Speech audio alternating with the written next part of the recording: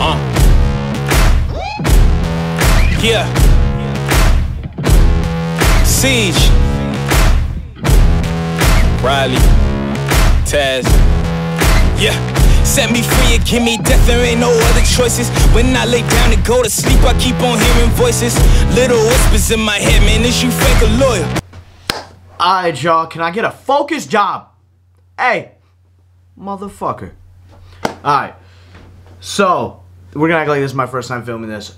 Today, I'm gonna tell you guys a little bit more about me. Now, I just wanna put this out there. I'm not doing this for you guys to feel sorry for me or any of that. I really just wanna do it to motivate you guys. To let you guys know that, like, you're gonna have some adversity in life. You're gonna have ups and downs but your mindset and the way you push through can change everything. So to start, let me give you guys a little bit of background. Growing up when I was younger, I did not come from a lot of money. Uh, it was my mom who was a, a waitress full time, uh, taking care of me and my sister. My dad was in my life when I was younger, uh, and I had like great grandparents and, and like great aunts and stuff. But as I got a little bit older, some things happened with my dad, and I chose not to have him in my life anymore. Now, when I was in fifth grade, my mom got married.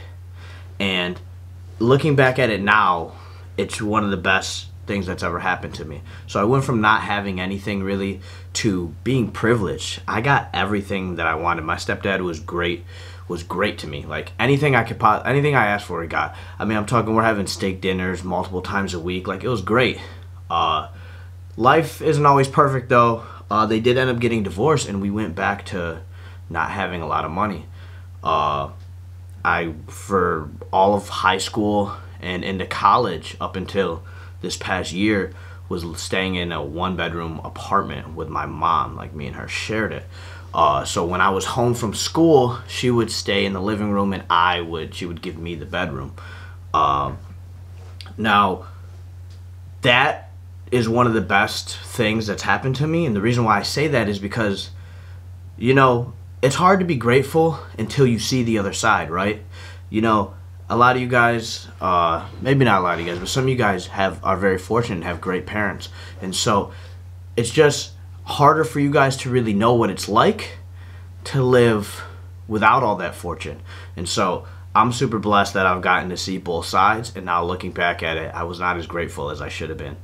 Uh, so let's fast forward. Let's fast forward to uh, I get my associate's degree. I went to community college. Then I transfer out here in Buffalo. I transferred to UB, and uh, at the time I was dating this girl that I've been dating since my senior year of high school. So I transfer out here, and community college did not get me ready. School's never been my strong suit. I'd never even planned on going to school, and then I ended up getting an associate's degree. It was super crazy. But that's besides the fact. First semester I did not do so well. I did terrible actually. And I lost some of my financial aid. And so the following year, so this is my this is my junior year of college. So in the fall did terrible. In the spring, uh, I just had federal aid, so I still could afford like school and everything, plus like loans and whatnot. But I didn't get good enough grades to boost my GPA up. So after my junior year, I didn't know how I was going to pay for college. So I enrolled in a summer class uh, my junior year summer, and it didn't go so well. It was going great, and I mixed up the dates on a midterm. And because I got a zero on this midterm, I would not be able to pass the class with the grade that I needed. And so that led to me having to make the decision of how am I going to pay for school? Like I don't have my parents to help pay for it.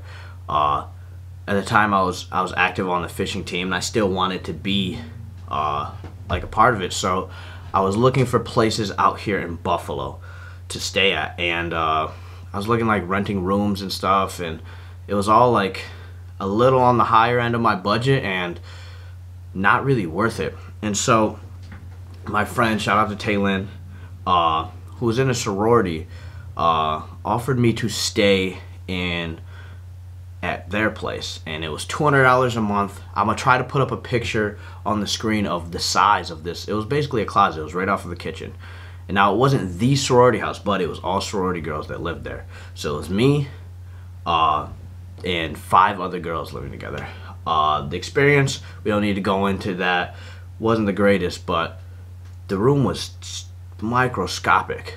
And so I got a job at Walgreens as a shift lead, which is like a manager, and I was able to uh, like save up. So my goal was I was gonna pay for a class to take that fall uh, to boost my GPA back up to go back and, and finish my degree.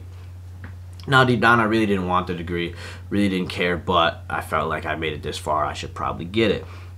And so I took that class in the fall while working uh, full time at Walgreens. And at this, and I think it was October 28th, uh, I, I was on my way back from a fishing tournament in Arkansas.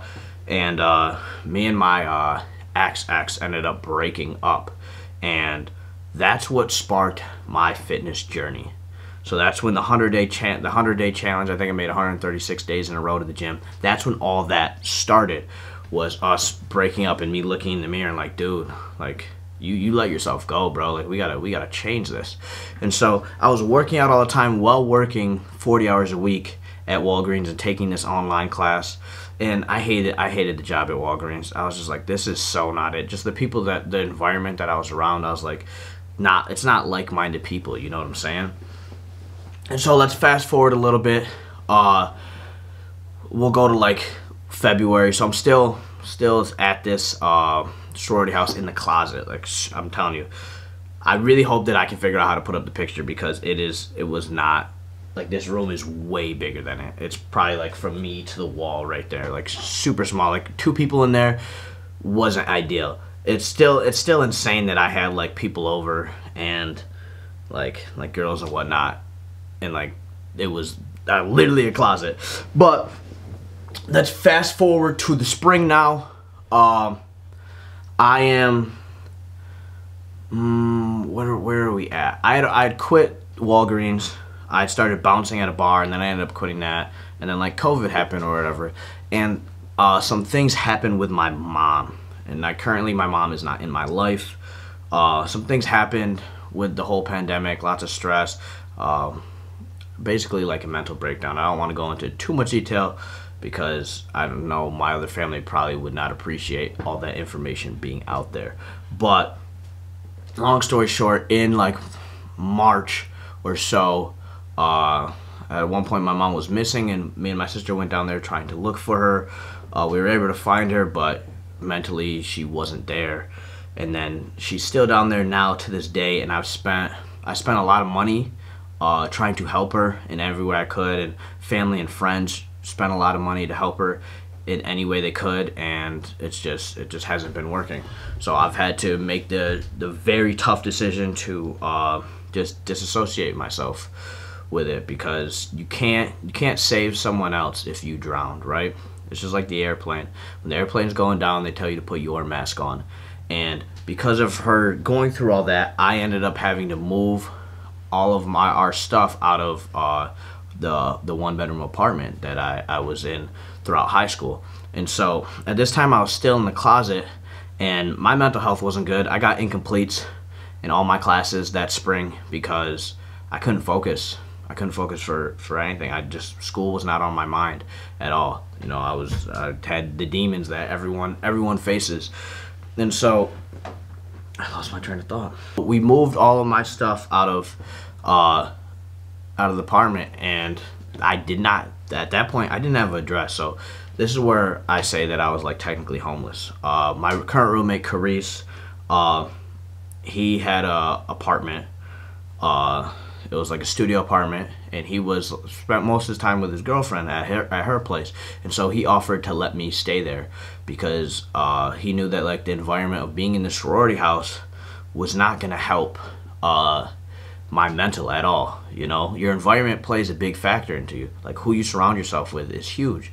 And like that's just not it just wasn't who i was. I just needed to like be alone. And so I, the most i'm so thankful. Like if you end up watching this Carice, like uh i'll probably never be able to pay you back for that uh because you saved me so he let me stay in in his uh like uh studio apartment i didn't charge me any rent and so i was able to save up some money uh, and if it wasn't for that, I wouldn't be able to help my mom in the way that I did, even though it didn't turn out to anything. But because everything that happened with my mom, I went from just paying uh, my own rent to having the burdens of life all thrown on my shoulder in a very short amount of time. So I, I already paid for my insurance, I already paid for gas, uh, but I had to pay for my phone now, I had to pay for rent, uh, and ended up having a lapse in my insurance, which has spiked it. So this whole process has cost me a lot of money. I had to buy a new phone and whatnot.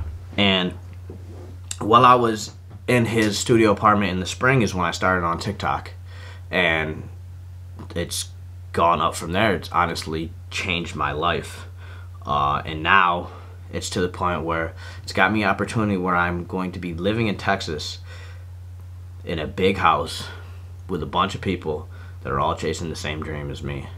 And it's because of you guys, your guys' support through all this.